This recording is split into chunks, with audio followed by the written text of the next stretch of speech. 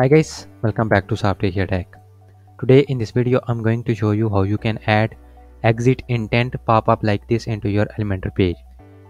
You can see when I try to close this tab, this pop-up will appear.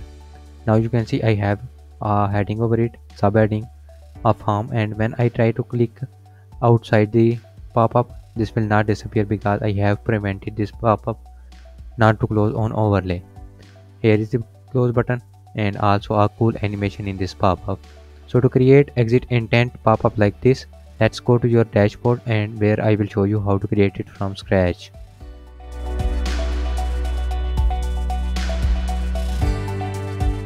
So here I am on my dashboard. First of all, I will create a pop-up. So for this, I will go to templates and click on pop-ups.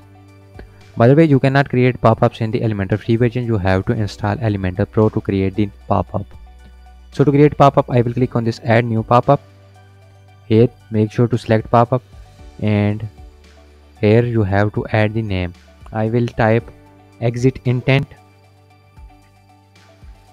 and then I will cl click on create template. Now here it will show you some templates but I will not use any template. I will create it from scratch. So I will click on this class button and here you have to create your pop-up so before adding any content I will show you how the settings works. So I will click on the settings page.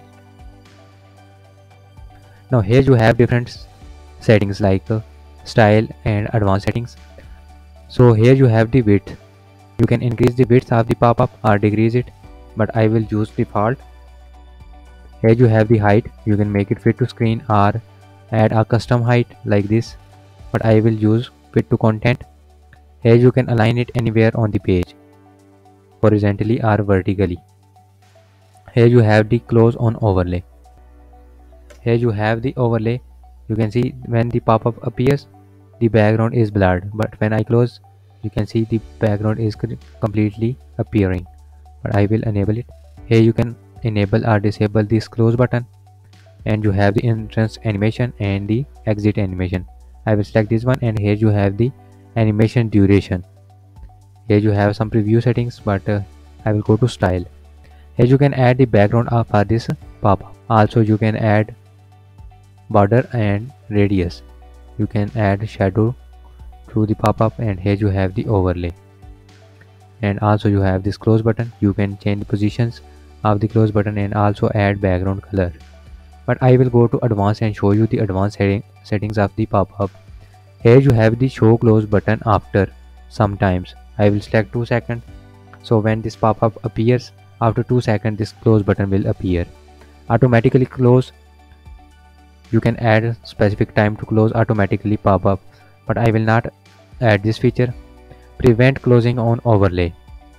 I will enable it. So when somebody clicks on outside the pop-up this pop-up will not disappear here you have the disable page scrolling. Scrolling behind the pop-up in the page, I will disable it and also I will avoid multiple pop-ups. Here I have the margins and padding and also I have this custom CSS. But I will add 50 pixels of padding. Now I will go to content and add content here.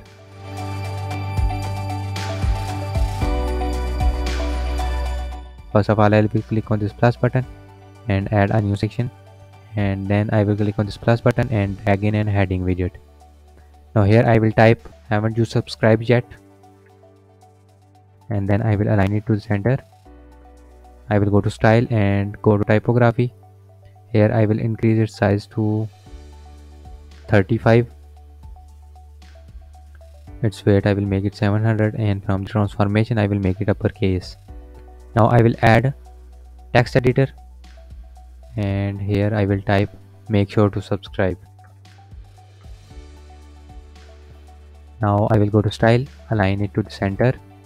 And here in the typography I will change the font to Abel and here I will change its size to 20 its weight I will make it 700 now under this subheading I will add form.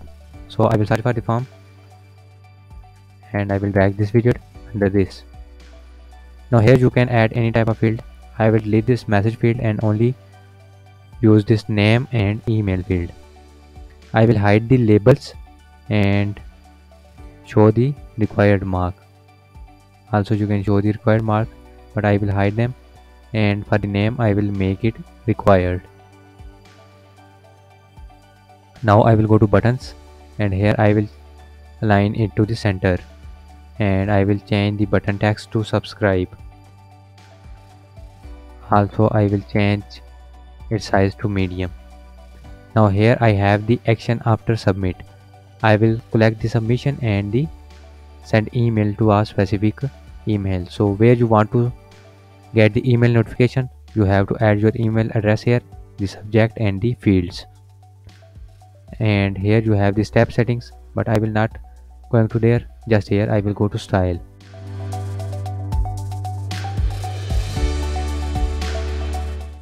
Here in the style you can change the form gap row gaps label and other things. But I will leave them to the default. Now I will publish the pop-up. So here I have to add conditions triggers and advanced rules. First of all I will add condition to show it on entire site. Then I will move to triggers and here I will appear it on exit intent. And then I will go to advanced rules and I will show it on the all devices and show on all browsers. Now save and close. Now the pop-up is live. Let's go to your live site where I will show you how it works.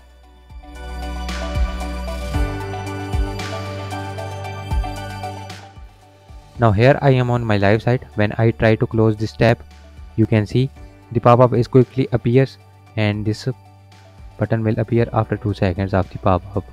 Here you can add your name, email to subscribe and when I click on outside this pop-up, it will not disappear. Just I will click on this cross button to disappear it. That's how you can add exit intent pop-up into your Elementor page. Hope you learned something new in this tutorial. If so, please like this video and share with your friends. Don't forget to subscribe our channel and also press bell icon to get notified when I upload new videos. Thanks for watching.